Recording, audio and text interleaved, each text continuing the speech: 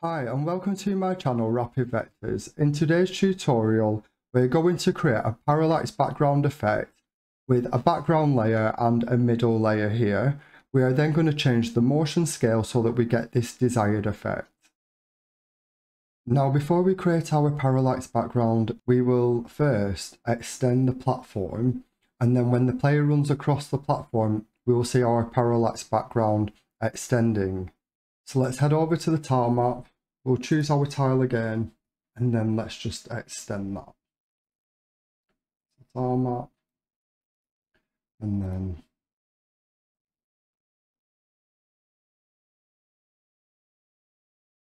Now head over back to the warped collections and in the assets under warped files PNG environment layers we want to use the background and the middle ground.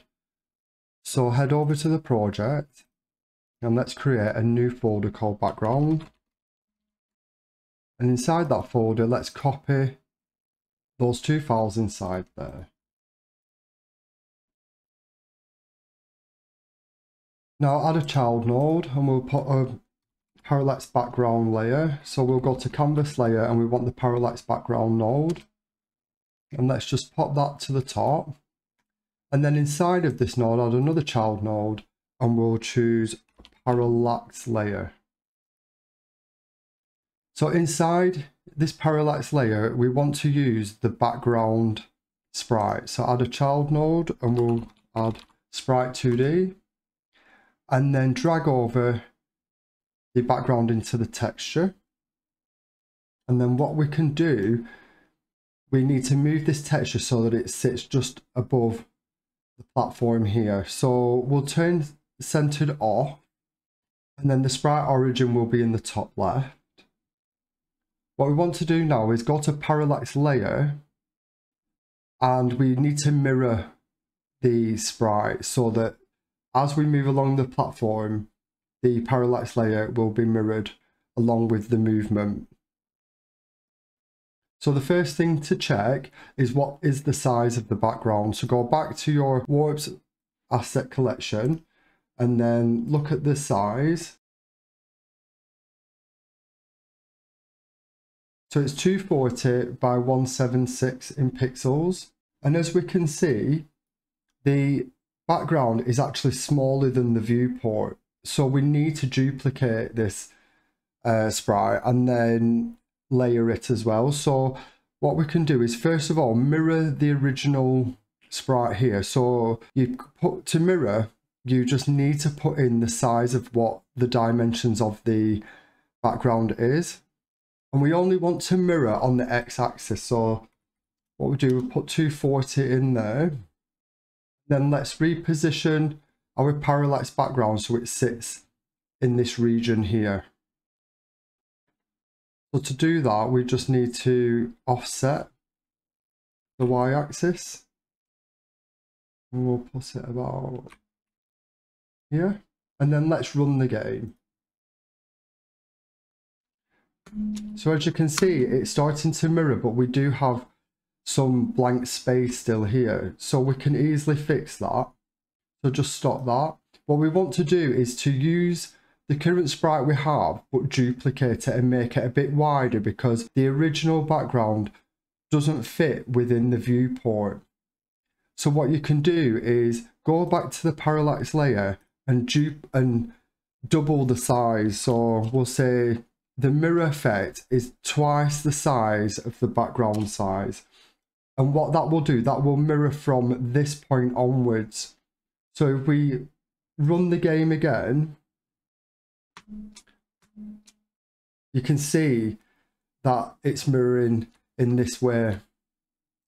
What we need to do is to fill this missing space and to do that, you just duplicate the sprite and then move the second sprite into this position. And you can do that by just going back to the transform.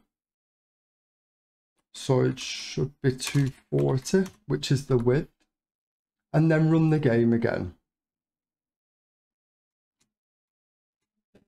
And if we run all the way to the end of the platform, we can see that we've now got a parallax background, which is filling in the space as a player runs ahead. I'm just going to rename this parallax layer as background parallax layer. And then let's create a new parallax background layer. So add child node and then choose parallax layer again. But we'll call this middle ground and then add a child node which is sprite 2D. And then in the texture, let's pop the middle ground in there. So as we can see, we've got our middle ground positioned here. So we need to turn centered off again. And this will position it just above the background layer. We need to now check the size of that middle ground. Back in the assets collection, let's just have a look at that and this is slightly larger at 272 pixels on the x-axis.